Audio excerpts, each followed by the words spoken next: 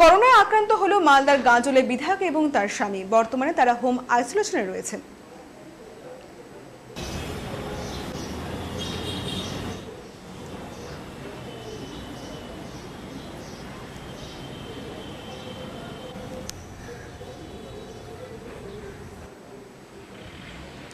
এই মুহূর্তে যে খবরে আমরা চোখ রাখছি করোনা আক্রান্ত হল মালদার গাঁজলের বিধায়ক এবং তার স্বামী এবং বর্তমানে তারা হোম আইসোলেশনে রয়েছেন।